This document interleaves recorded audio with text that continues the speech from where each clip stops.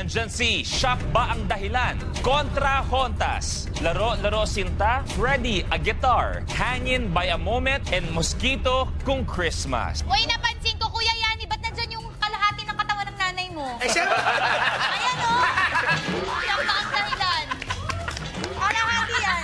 wala na ako sasabihin. Pwede re-emp muna.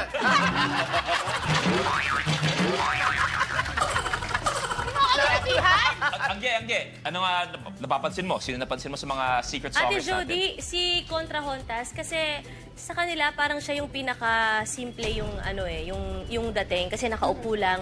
Pero feeling ko ano siya, ah, mahilig kumanta.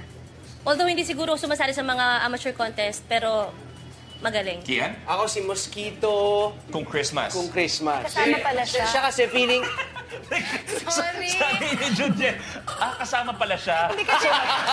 Sorry, dito kasi nag-end yung ano ko. So, eto ka naman. So, Alam mo, Luis, Wala, ka. Hindi, alam mo, Luis, kung bakit? Oh. Di ba usually naman anim lang? Eh, Oh. binili niya, one, two, three. Sobra. Pito yun eh.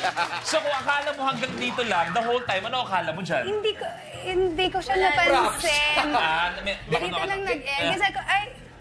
Ayan, hindi siya siya. gusto Sorry. sasabihin ko, si Mo- Mosquito kung Christmas. Kasi baka kaya siya nilagay na nakakulambo, nakabox. Kasi baka dahil siya yung singer, tinatago siya sa'yo. So feeling ko singer yan.